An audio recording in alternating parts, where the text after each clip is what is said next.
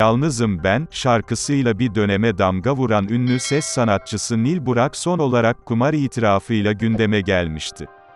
Şimdi ise Nil Burak'tan kötü haber geldi. Nil Burak, geçtiğimiz sene Ağustos ayında konser için gittiği Kıbrıs'ta rahatsızlanmıştı. 74 yaşındaki şarkıcı ameliyat edilmiş, ince bağırsağının 50 santimlik bölümü alınmıştı. Geçtiğimiz yıldan bu yana sağlık sorunlarıyla mücadele ediyordu. Nil Burak'tan endişelendiren bir haber daha geldi. Ünlü isim koronavirüse yakalandı. Hastalığı kötü geçiren şarkıcı, boğazımda bir çatal var sanki, tükürüğümü bile yutamıyorum, dedi. Nil Burak, geçtiğimiz aylarda ise kumar itirafıyla dikkat çekmişti. Nil Burak şu ifadeleri kullanmıştı, ben de kumarı seviyorum ve 40 yıldır oynuyorum. Kendi irademle bütçeme göre oynuyorum.